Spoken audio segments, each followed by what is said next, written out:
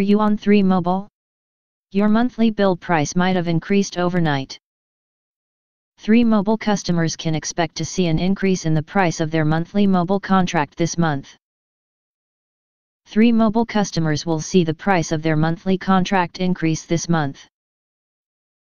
The UK network announced the price change earlier in the year.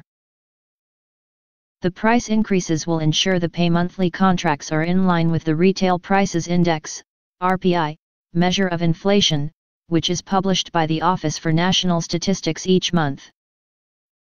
3 mobile customers can expect an increase of some 4%. That means those currently paying £20 a month on their 3 mobile smartphone bill will see an increase of 80p per month for the same monthly plan.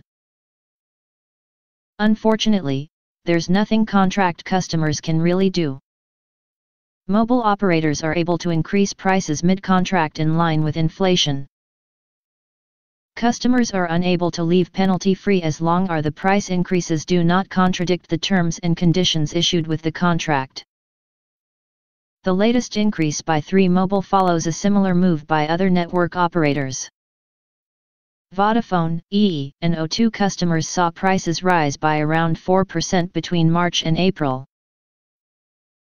A spokesperson for 3 Mobile told Express.co.uk, like many other mobile operators, our pay monthly plans are subject to an annual price increase in line with the RPI rate of inflation published by the ONS.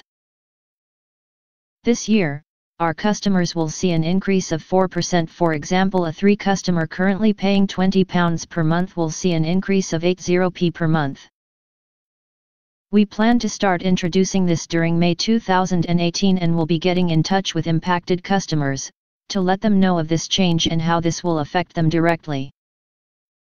We know price increases are frustrating but we are committed to giving customers the best experience possible by offering benefits such as roaming in 71 worldwide destinations at no extra cost, streaming the latest shows and music without eating into data, 4G at no extra cost, plus access to weekly rewards and free stuff through our Wuntu app.